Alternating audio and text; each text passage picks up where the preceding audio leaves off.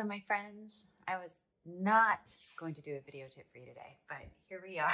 I didn't sleep well last night. I was in such a mood this morning. Like, you know what I mean. And I had to make these apple crumble cookie bars for work. I felt all this resistance. I was like grumpy and all of it. But I took a few deep breaths and I set an intention to soften, soften. And it didn't happen right away. but through the process of starting to measure the flour and putter about my kitchen, I just kept holding that focus of softening. And what I found is happening is things have started to shift.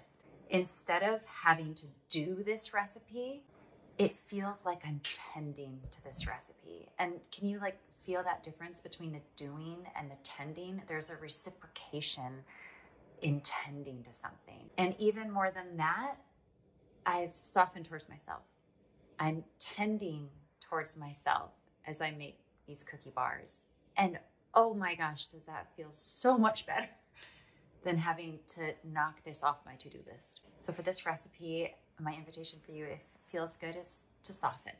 I know we don't always have the luxury, the privilege of time and quiet, but if you do, maybe give it a try. Soften, tend to the recipe instead of doing the recipe, and perhaps tend to yourself as well.